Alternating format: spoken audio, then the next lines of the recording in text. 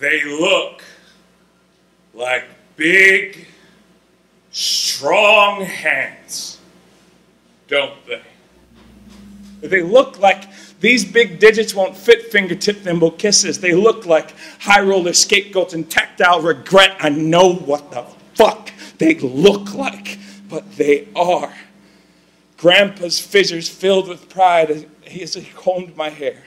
The grandma's amethyst veins helping me cross crack pavement. Their dads throwing discus. My uncle shooting hoops. My brothers playing music. Regardless of what they look like, my hands are large and powerful from a long line of love with no time for the presumptions of mice and men. My hands were trained by earth mothers who let Olelo Hawaii roll thunder across the valleys and echo from the cliffs. My granite palms are diamonds in the rough smooth enough to wipe away little streams from northern springs and put pressure on cuts to stop rivulets from leaking. My hands massage, caress, intertwine, and heal, move nimbly with knotwork. They tremble and quake. They help me stand up straight. My hands can stand the heat so that even while it's still molten, they will help shape the golden heart within the next mountain.